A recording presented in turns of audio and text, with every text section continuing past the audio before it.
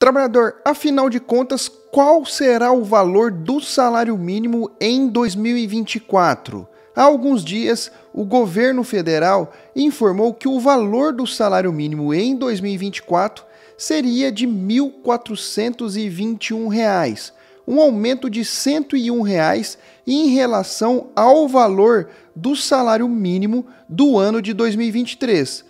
Contudo, como você pode ver pelo próprio site gov.br, o site do governo, o valor do salário mínimo em 2024 será de R$ 1.412, um aumento em relação ao valor do ano anterior de 92 reais que representa um pouco menos de 7% de acréscimo. Saiba que o pagamento que será realizado no mês de fevereiro, por conta do trabalho desenvolvido agora no mês de janeiro, terá que ser com base no valor do novo salário mínimo, ou seja, R$ 1.412. Trabalhador, qual a sua opinião em relação ao valor do salário mínimo em 2024?